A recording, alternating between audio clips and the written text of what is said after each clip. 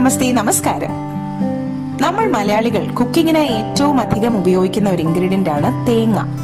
Daily യൂസിനായിട്ട് തേങ്ങ തിരുമ്മി കിട്ടുക എന്നുള്ള കാര്യം വളരെ വിഷമം പിടിച്ചൊരു കാര്യമാണ് അല്ലേ ഗൾഫ് കൺട്രീസിലൊക്കെ പല സൂപ്പർ മാർക്കറ്റ്സിലും നമുക്കിത് തിരുമ്മി കിട്ടാറുണ്ട്. എന്നാൽ നാട്ടിൽ അത് അങ്ങനെ അധികം കോമൺ ആയി കാണാറില്ല. സൂപ്പർ മാർക്കറ്റ്സിലായാലും ചെറിയ കടകളിലായാലും ഒക്കെ തിരുമ്മി കിട്ടുന്നത് വളരെ അപൂർവമാണ്.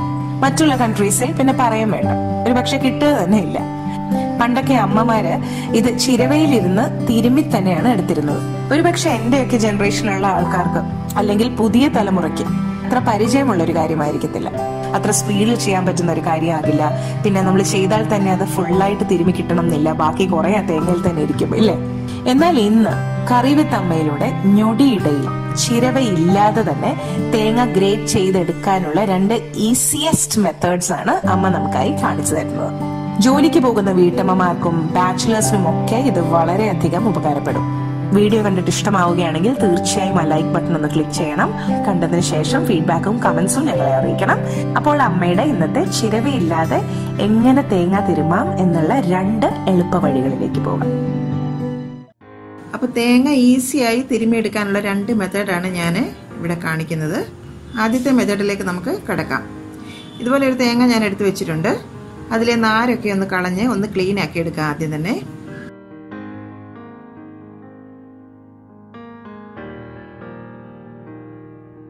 ഇനി നമുക്ക് ഈ തേങ്ങ ഓവർനൈറ്റ് അല്ലെങ്കിൽ ഒരു പന്ത്രണ്ട് മണിക്കൂറെങ്കിലും മിനിമം ഫ്രീസറിൽ വെച്ച് നമുക്കിതൊന്ന് തണുപ്പിച്ചെടുക്കണം. ഇതുപോലെ തേങ്ങ ഒരു കവറിലേക്ക് നമുക്കൊന്നാക്കാം ഇനി ഫ്രീസറിലേക്ക് നമുക്കിതൊന്ന് വെക്കാം.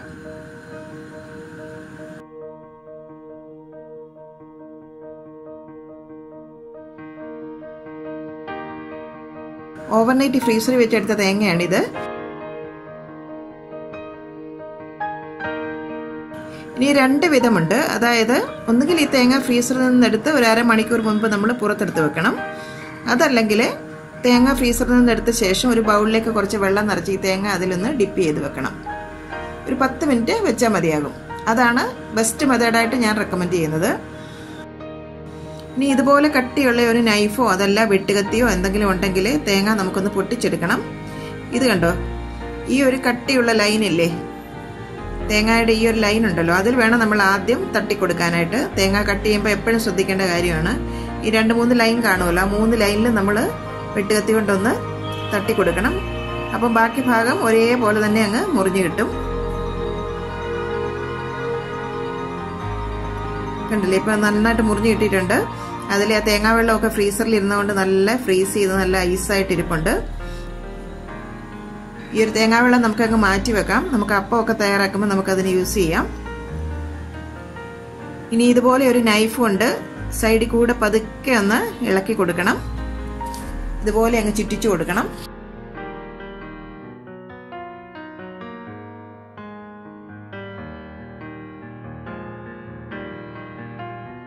കണ്ടോ എത്ര ഈസി ആയിട്ട് ചിരട്ടയെന്ന് തേങ്ങ വിട്ട് കിട്ടിയെന്ന് നോക്കി. അപ്പൊ ഇതുപോലെ വെള്ളത്തിലേക്ക് ഇട്ട് കഴിഞ്ഞാൽ പെട്ടെന്ന് തന്നെ നമുക്കിതങ്ങ് ചെയ്തെടുക്കാം കേട്ടോ. അതുപോലെ ഈ മുറി നമുക്കങ്ങ് റിമൂവ് ചെയ്തെടുക്കാം. ഇതിപ്പോൾ കുറച്ച് എളുപ്പം തേങ്ങ ആയതുകൊണ്ട് ആ ബ്രൗൺ സ്കിന്നും ഒക്കെ അങ്ങ് പോയി കിട്ടി. ഇനി അഥവാ ആ സ്കിൻ ഉണ്ടെങ്കിൽ തന്നെ ഇതുപോലെ ഒരു പീലർ കൊണ്ട് ഒന്ന് സ്ക്രേപ്പ് ചെയ്ത് ഈസി ആയിട്ട് നമുക്കതങ്ങ് മാറ്റാം. ലൈഫിനെക്കാട്ടിലും കുറച്ചും കൂടി ഈസി ആയിരിക്കും ഇതുപോലെ പീലർ ഉണ്ടെന്നുണ്ടെങ്കിൽ ചെയ്തെടുക്കാനായിട്ട്.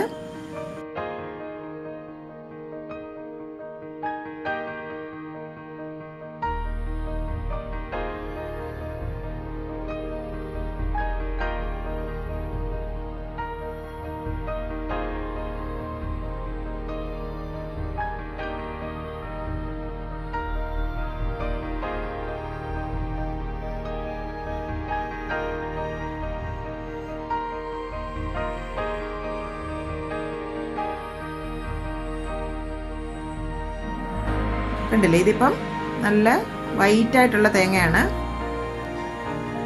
ഇതിപ്പം നല്ല വൈറ്റ് ആയിട്ടുള്ള ഫ്ലഷ് ആണ് അതല്ലെങ്കിൽ സ്കിന്നോട് കൂടി തന്നെ മതിയെങ്കിൽ നിങ്ങൾക്ക് അങ്ങനെ തന്നെ ഷ്രെഡ് ചെയ്ത് എടുക്കുകയും ചെയ്യാം.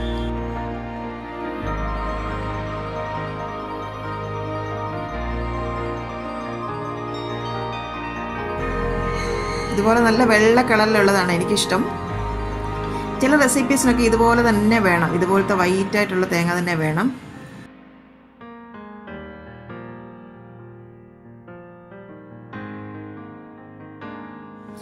ഫ്രീസറിലൊക്കെ നമ്മൾ വെച്ചെടുക്കുന്നതുകൊണ്ട് ഈ ഫ്ലഷ് ഒക്കെ അങ്ങ് സോഫ്റ്റ് ആയിരിക്കും. അപ്പോൾ കട്ടിംഗ് ഒക്കെ വളരെ ഈസിയാണ് ശരിക്കും മലയാളികൾക്ക് നമ്മുടെ തേങ്ങ ഇല്ലാതെ ഒരു കുക്കിംഗ് ഉണ്ടാവില്ല അല്ലേ? എന്നും നമുക്ക് തേങ്ങ വേണം. എല്ലാത്തിനും നമ്മൾ തേങ്ങ ചേർത്തിട്ടാണ് നമ്മൾ കുക്ക് ചെയ്യുന്നത്.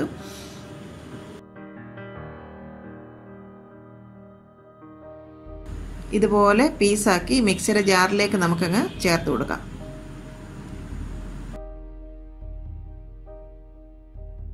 ഇത് പൂളുന്നതിന് മുമ്പായിട്ട് തന്നെ ഒരു തുണി കൊണ്ട് ഇതിലെ വെള്ളമൊക്കെ ഒന്ന് തുടച്ചെടുക്കണം കേട്ടോ. എന്താന്ന് വെച്ചാൽ നമ്മുടെ മിക്സർ ജാറിനകത്തിട്ട് നമ്മൾ കറക്കുന്നതല്ലേ? അപ്പം കുറച്ചൊരു നനവ് കൂടുതലായിട്ട് വരും. അപ്പം വെള്ളം അങ്ങ് തുടച്ച് ഡ്രൈ ആക്കി കഴിഞ്ഞാൽ നല്ല ഡ്രൈ ആയിട്ട് തന്നെ ഇരിക്കും.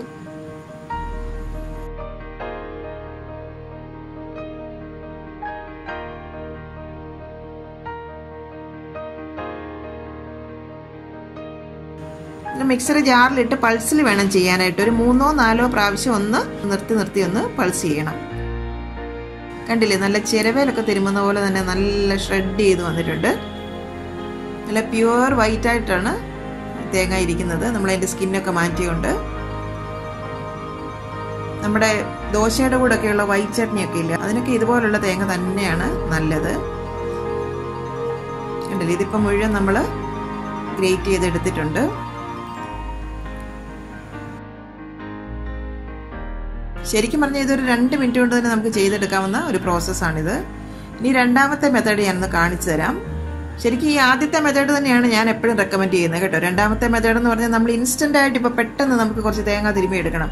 നമ്മൾ തലേ ദിവസം ഫ്രീസറിൽ നമ്മൾ തേങ്ങ വെച്ചില്ല. അങ്ങനെയൊക്കെ ഉണ്ടെന്നുണ്ടെങ്കിൽ പെട്ടെന്ന് നമുക്ക് ചെയ്യണമെങ്കിൽ വേണ്ട ഒരു മെത്തേഡാണ് ഞാൻ കാണിക്കുന്നത്. ഒരു തേങ്ങ ഇതുപോലെ രണ്ടായിട്ട് ഞാൻ മുറിച്ചെടുത്തിട്ടുണ്ട്. ആദ്യം തന്നെ നമുക്ക് സ്റ്റൗ ഒന്ന് കത്തിക്കാം. അതിലേക്ക് ഒരു മുറി തേങ്ങ ഇതുപോലെ ഒരു പക്കട് കൊണ്ട് പിടിച്ചിട്ട് ആ ഫ്ലെയിമിന്റെ പുറത്തേക്ക് അങ്ങ് വെച്ച് കൊടുക്കണം. ആ ചിരട്ട ഭാഗം ഫ്ലെയിമിലേക്കാക്കി. അപ്പോൾ ചിരട്ട ഭാഗം നല്ലവണ്ണം ചൂടായി വരണം. നല്ലവണ്ണം ചൂടായി കഴിയുമ്പോൾ ഫ്രഷ് അതിൽ നിന്ന് പെട്ടെന്ന് തന്നെ അങ്ങ് വിട്ട് കിട്ടും. ഏകദേശം ഒരു ഒരു മിനിറ്റ് മതിയാകും. തിരിച്ചു മറിച്ചും ആ ചിരട്ടയുടെ എല്ലാ ഭാഗത്തേക്കും ഫ്ലെയിം ഒന്ന് വെച്ച് കൊടുക്കണം.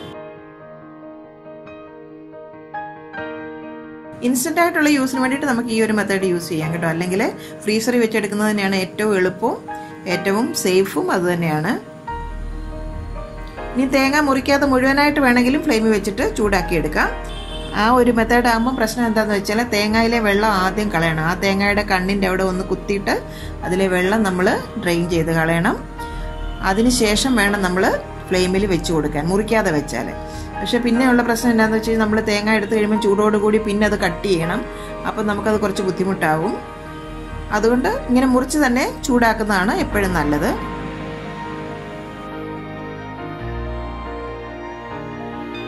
ഇനി വീണ്ടും ഇതുപോലെ നൈഫ് കൊണ്ട് സൈഡൊക്കെ ഒന്ന് ഇളക്കി കൊടുക്കാം.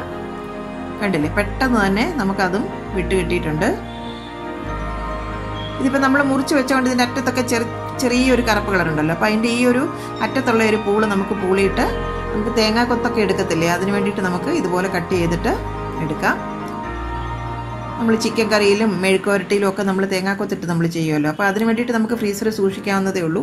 ഈ അറ്റത്തുള്ള ഭാഗം അങ്ങ് മുറിച്ചെടുത്തിട്ട് പീസാക്കിയിട്ട് ഇതുപോലെ ഒരു കണ്ടെയ്നറിൽ വെച്ച് അടച്ച് നമുക്ക് ഫ്രീസറിൽ സൂക്ഷിക്കാം. ആവശ്യാനുസരണം എടുത്ത് ഉപയോഗിക്കാം.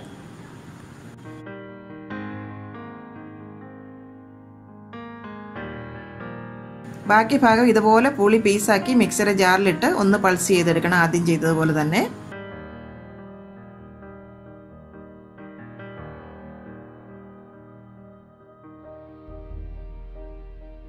ഇതിപ്പോൾ അതിന്റെ സ്കിന്നൊന്നും കളയാതെ ഞാൻ അതുപോലെ തന്നെ ഇട്ടങ്ങ് പൾസ് ചെയ്തെടുക്കുകയാണ്. കണ്ടില്ലേ? ഈ ഒരു തേങ്ങായും നമുക്ക് നല്ലവണ്ണം കിട്ടിയിട്ടുണ്ട്. ഇതിനാകുമ്പം കുറച്ച് കളർ കുറയും. എന്ന് വെച്ചാൽ നമ്മൾ ആ ബ്രൗൺ സ്കിന്ന് മാറ്റാത്തത് കൊണ്ട് ചില റെസിപ്പിയിലൊക്കെ നമുക്ക് ഇങ്ങനെ വേണമെങ്കിൽ യൂസ് ചെയ്യാം. അപ്പോൾ ഈ ഒരു മെത്തേഡിലുള്ള തേങ്ങായും നമ്മൾ പെട്ടെന്ന് തന്നെ ഗ്രേറ്റ് ചെയ്തെടുത്തിട്ടുണ്ട്. ഇതും റെഡി ആയിട്ടുണ്ട്. കണ്ടില്ലേ? കുറച്ച് കളർ വ്യത്യാസമുണ്ട് കണ്ടോ? ഒന്ന് നല്ല പ്യുവർ വൈറ്റും ഒന്ന് കുറച്ച് ബ്രൗൺ കളറൊക്കെ അതിനകത്തുണ്ട്. ഇനി ഇതുപോലെ ചെറിയ ചെറിയ കണ്ടെയ്നറിൽ നമുക്ക് ഇതങ്ങ് ആക്കി വെക്കാം.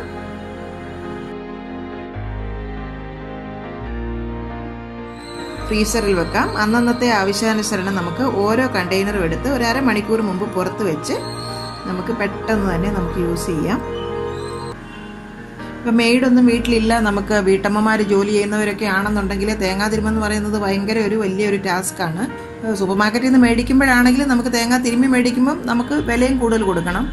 അപ്പം നമുക്കിത് പെട്ടെന്ന് തന്നെ നമുക്ക് വീട്ടിൽ ചെയ്തെടുക്കാവുന്നേ ഉള്ളൂ. ഇതുപോലെ ഞാൻ പറഞ്ഞതുപോലെ ആദ്യത്തെ മെത്തേഡാണ് ഞാൻ റെക്കമെൻഡ് ചെയ്യുന്നത്.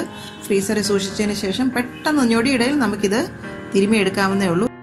ഇത് അറിയാത്തവരായിട്ടുണ്ടെങ്കിൽ അവർക്ക് തീർച്ചയായിട്ടും പ്രയോജനപ്പെടുമെന്ന് ഞാൻ വിശ്വസിക്കുന്നു. അപ്പം നിങ്ങളിത് വീട്ടിലിനിയും ഇങ്ങനെ തന്നെ തേങ്ങാ തിരുമ്മി എടുക്കണം.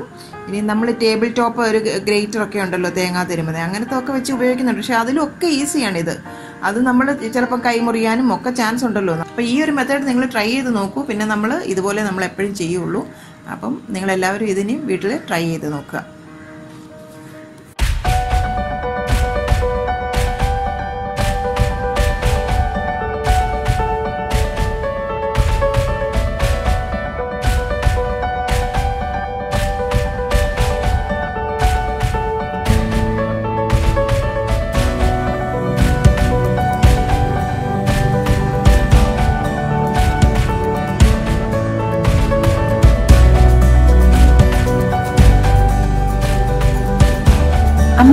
ഇന്നത്തെ റെസിപ്പി നിങ്ങൾക്ക് ഇഷ്ടമായെങ്കിൽ ഈ വീഡിയോ നിങ്ങൾ തീർച്ചയായും ലൈക്ക് ചെയ്ത് ഷെയർ ചെയ്യണം.